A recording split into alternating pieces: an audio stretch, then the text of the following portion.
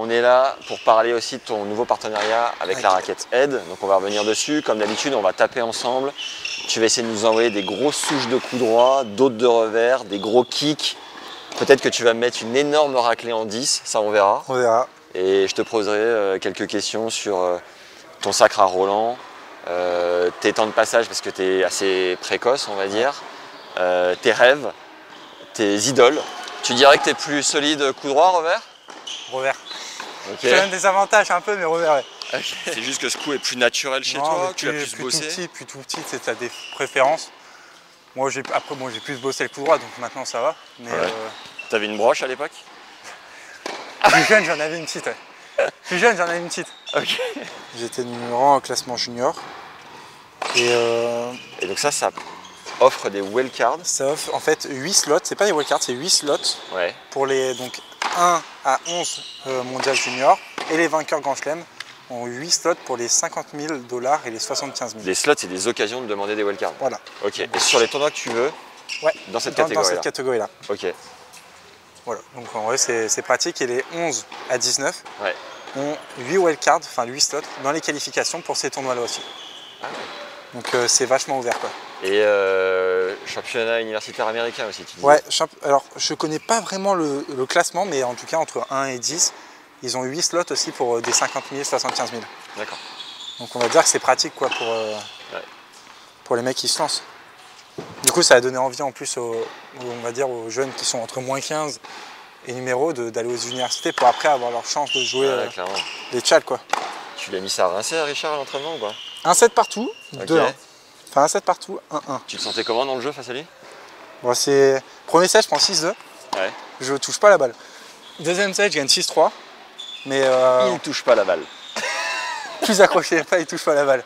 Non mais c'est bien de jouer des joueurs comme ça, en final ça nous fait euh, Tu sens une intensité beaucoup plus Différente. importante? Dès que tu joues un peu moins bien, bah, tu je prends 6-2.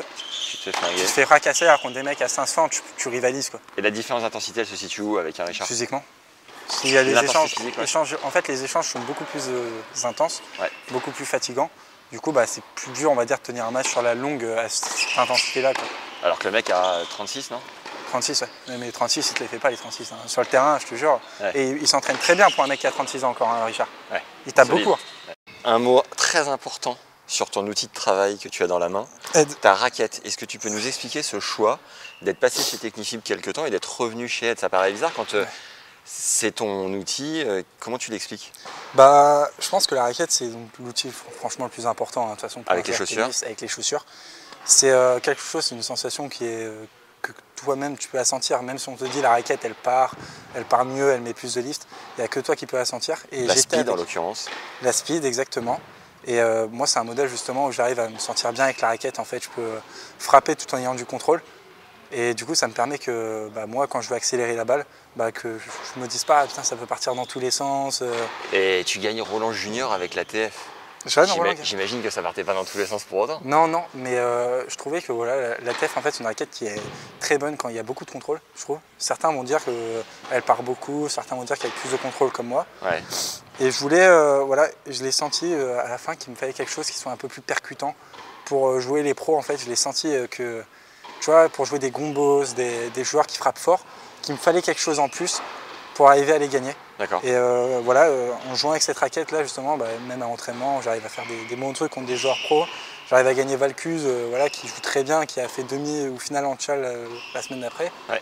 Donc je gagne des, j'arrive à gagner avec des bons joueurs avec cette raquette et je sens que je peux encore plus rivaliser. quoi. Ok. Pourquoi pas? Écoute, on te souhaite le meilleur pour. c'est quoi l'objectif sur 2023 L'objectif en 2023, pro essai. Pro ce qui va dire bah, monter le classement. Mais je ne me fixe pas un, un classement en fixe. particulier Parce que si tu, te fixes, enfin, si tu te mets un classement fixe dans la tête, si tu l'atteins pas, tu finis déçu. Et je me dis que moi, ma progression, si je me dis que je m'entraîne bien, que je donne tout à l'entraînement, et ben le classement il va suivre. Ok.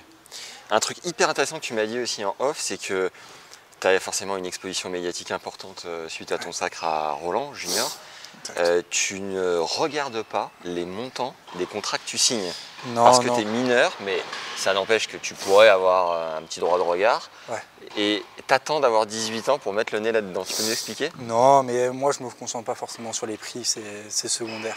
Tes parents euh, t'aident là-dessus, ainsi Ouais. que ton agent? Mes parents, mon agent se charge de tout et je leur fais totalement confiance. Ouais. Moi, je m'occupe du tennis Ouais. avec voilà, la raquette, les vêtements. Ouais. Et eux, leur objectif, voilà, c'est me, bah, me trouver les, les meilleures solutions possibles.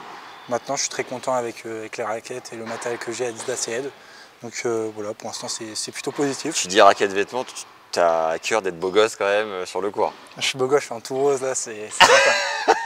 c'est sympa. Et les fringues euh, hors dehors du cours, t'en as aussi avec Adidas? Ouais, c'est euh, normal c'est beau- ouais, bon, c'est bah, Adidas, c'est une, belle marque. hein. Ok. C'est une belle marque, euh, il y a des belles chaussures, il y a, tu peux bien t'habiller, donc euh, c'est sympa, tu sens en ville, tu arrives, tu te sens frais un peu et tout. C'est euh, bon ça. C'est sympa. Dernier truc avant de conclure, euh, mentalement, est-ce que tu bosses avec un prépa?